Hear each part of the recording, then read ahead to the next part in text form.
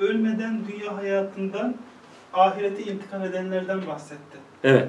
Ee, bunu acaba nasıl düşünmeliyiz? Resul Efendimiz çünkü Miraç hadisesinde ahiret diyordu. Acaba bu insanlar da o zaman şeyinden çıkıp böyle bir şeyler mi Görebilirler. ediyorlar? Tabii bakın ondan sonra akabinde devam etti. Söyledi. Şehitler dedi.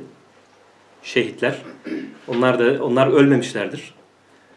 Sadece ölümü tadarak geçiş yapmışlardır. Onlar canlıdırlar, diridirler. Ayette de sabit.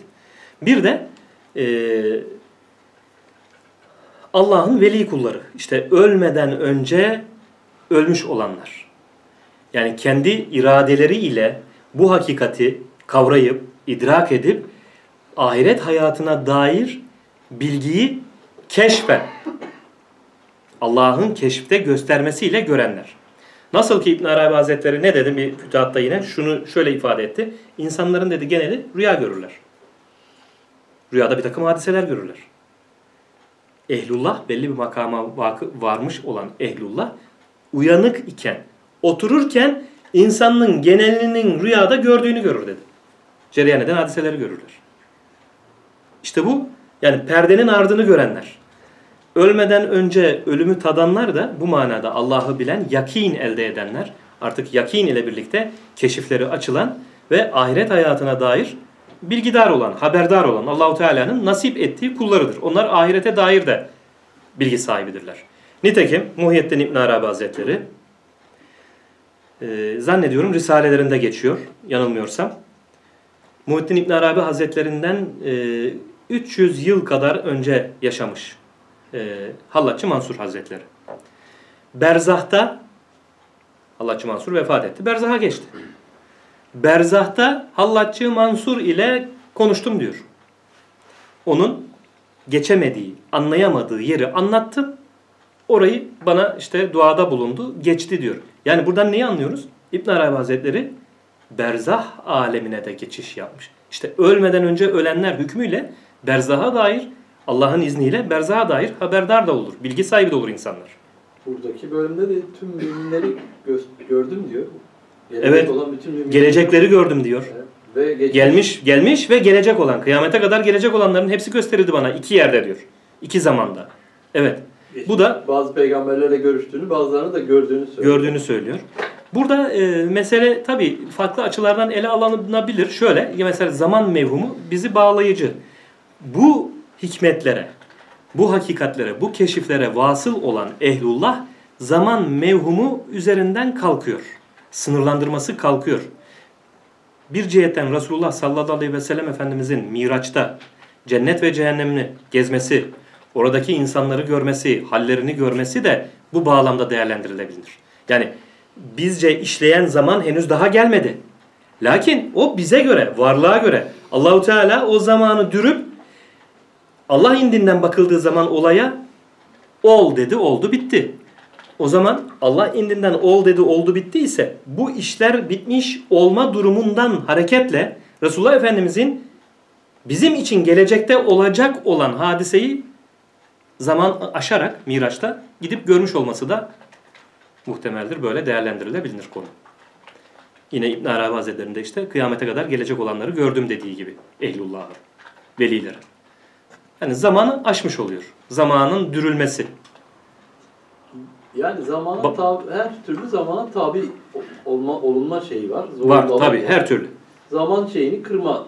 Yani zaman üstü diye. Zaman e, daraltılabilir, genişletilebilir ama her halükarda varlık zamana tabidir. Zamanı mutlak manada aşamaz. Çünkü varlık olduğu için zamanın sınırlar, sınırlandırması içindedir. Sadece zaman e, kavramı Allahu Teala o kişi için farklı algı çıkartabilir ortaya. Bir örnek daha vereyim ondan sonra unutma.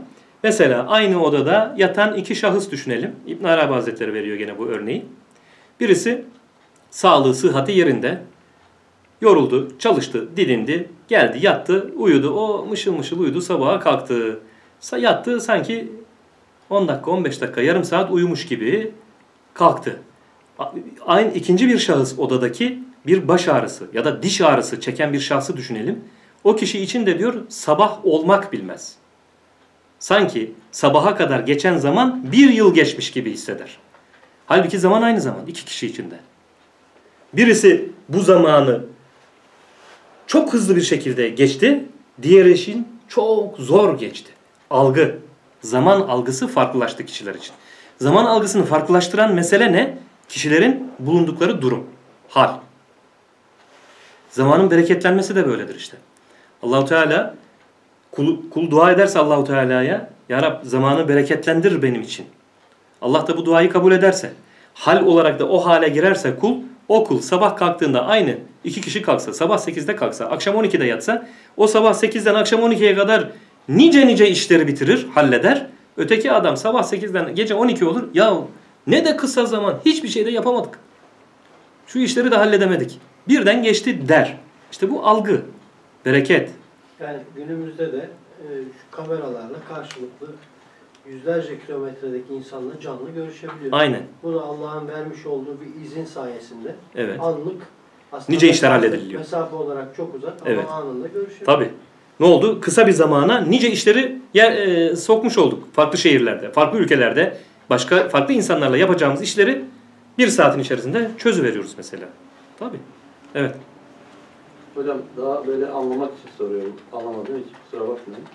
Şimdi Muhittin abi Hazretleri hani gelecek bütün müminleri gördüm dedi. Evet. Ee, hatta siz de bahsettiniz. Resmini bile çizerim başka bir şey. Evet. diyor.